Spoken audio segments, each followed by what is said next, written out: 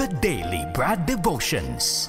Today's reflection with Pastor Jeff Eliscopides. Brad Jeff, patawad ha, sa muling pagpapahintay sa iyo. Alam ko na unawaan mo ang ating uh, uh, sitwasyon sa ating programa. Mabuhay ka Brad at magandang Monday morning.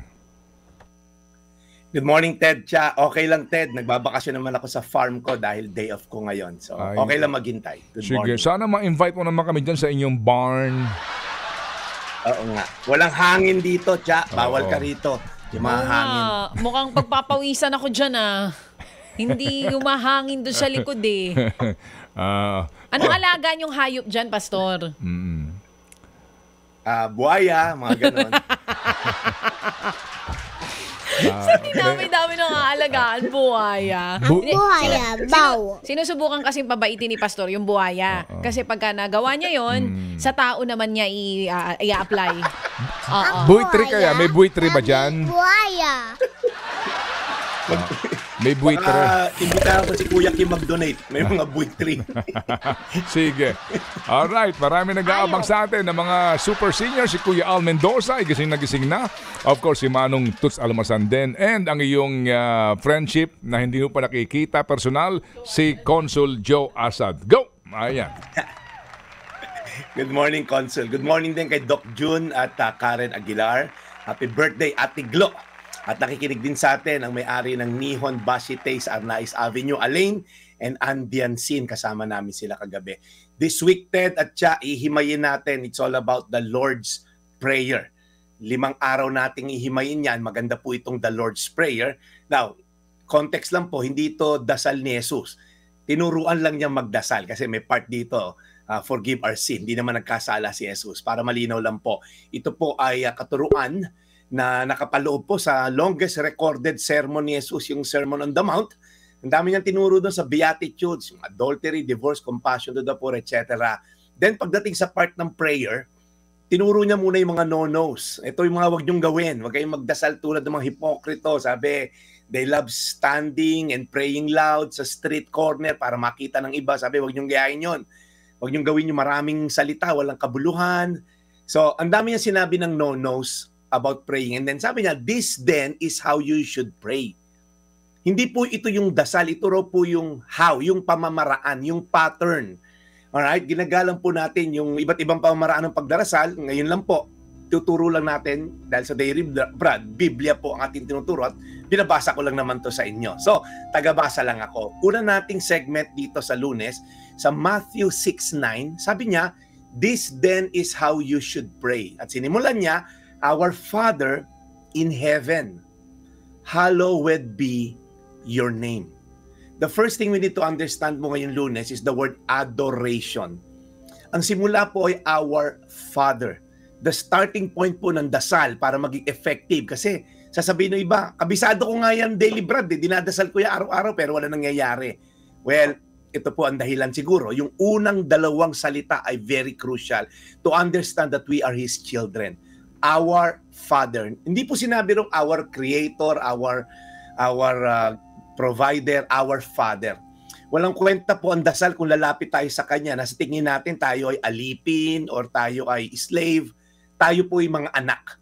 Tulad ng mga anak ko nung maliliit o yung mga anak mo siya, hindi nila kailangang magpaalam pagbubuksan yung ref, tama? Dahil alam nila, may relasyon ako, kailangan akong mabusog at itong mga magulang ko ay responsable to feed me. Ngayon po, para hindi naman natin abusuhin, eh anak pala ako eh, di spoiled brat ang dating, hindi po, tandaan natin yung kasunod, in heaven, hallowed be your name, means you are holy. Yes, tatay kita, pero may sense of oh or mangha. He is the Almighty Lord, Creator of the universe. Kaya po, kung puro mangha naman, walang relasyon, hindi ka lalapit. Kung puro naman relasyon, hindi ka namamangha sa kanya, di mo ginagalang ang kanyang posisyon bilang powerful, parang genie ang dating niya. Pagbigyan mo hiling ko, tatay kita, spoiled brat tayo. No? Kaya po, yung dalawa po na yan, magkasama po yan. Adoration means worship Him at pasalamat tayo na tayo tinanggap niya bilang kanyang mga anak. So ngayon po lunes, pagsimulan po natin na tayo nagdasal, lumapit po tayo sa kanya with a sense of awe na He is the most powerful uh, uh, person in the whole universe and yet tayo po ay mga anak niya. Manalangin po tayo. Panginoon, salamat po dahil lumalapit kami hindi sa isang Diyos na malayo, isang Diyos na galit, isang Diyos na bad trip. No, lumalapit kami sa isang Diyos na aming Ama. Ama namin sa langit. Lord, tulungan niyo po kami na maunawaan na kami ay pwedeng lumapit sa iyo regardless of our condition.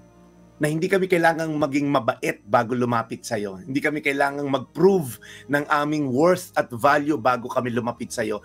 You love us, period. At Lord, pag lumapit kami sa iyo, may sense of awe. Merong repentance kung kailangan, merong ah, pasasalamat, at merong pagkamangha. Salamat sa opportunity to call upon your name, to call you Father. In Jesus' name. Amen. Amen. Panginoon, mahal na Ama, muli po, maraming salamat po sa pagkakataong ito na aming makaugnayan si Brad this morning sa aming programa. Alagaan niyo po siya lagi, ang kanyang pamilya, at lahat po ng mga naglilingkod sa inyo, at lahat po ng mga gumagalaw ng patas sa mundong ibabaw. Lord, ito pong aming ipinapanalangin sa pangalan pa rin po ng inyong bugtong na anak na si Jesus. Amen. Amen. Alagaan niyo po si Brad at ang kanyang pamilya lagi at ang lahat po ng mga nakikinig ngayon sa amin. Yan po lagi po nating pinapanalangin. Alright, Brad. So, day off mo ngayon. Magandang sikat ng araw. Maligayang labada. Yan ang aming Yes, Ted, wish. nakakasana. Ah, nakakasana ba? Oo. Na, umiikot nakakasana. na, umiikot na.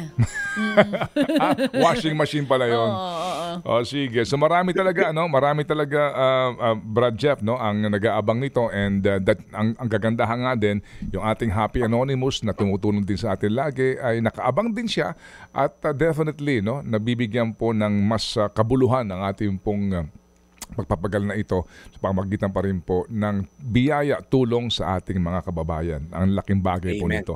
Ang maka maging tulay po para po sa mga gustong tumulong, sa mga nangangailangan po ng tulong. Salamat, Brad. Yes. Yes, Ted. Cha, alam nyo, uh, in, in, in closing lang, we're not just feeding the stomach because of the peso na nakukuha nila, but we're feeding the soul. So, Amen. kompleto patatas po. Marami po salamat, Mr. Happy Anonymous. Ako po si Pastor Jeff. Again, pastorjeff.ph sa Facebook, YouTube at Instagram. Aha. Ako po ang inyong lingkod.